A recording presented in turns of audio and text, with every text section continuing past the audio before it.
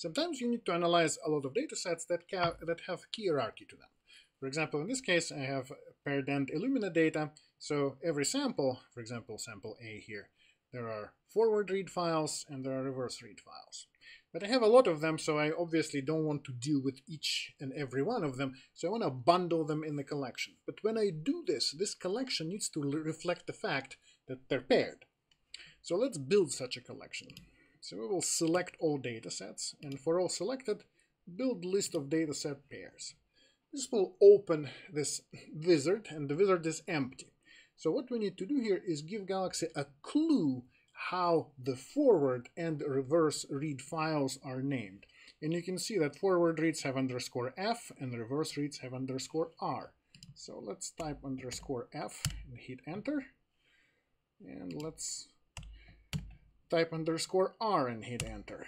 And you can see forward reads, reverse reads, and we can pair them by clicking on that button, or we can we can just click auto pair. So this is how my collection will look like. So I have sample A, it has two files, forward and reverse, sample B, and so on. Um, so let's um, again hide original elements, and I will call collection my reads and click create list.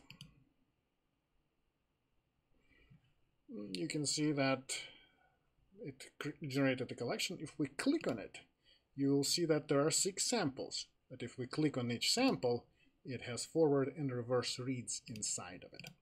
So how do I use this collection with tools? Let's map these reads uh, against human genome with uh, BWA-MEM again.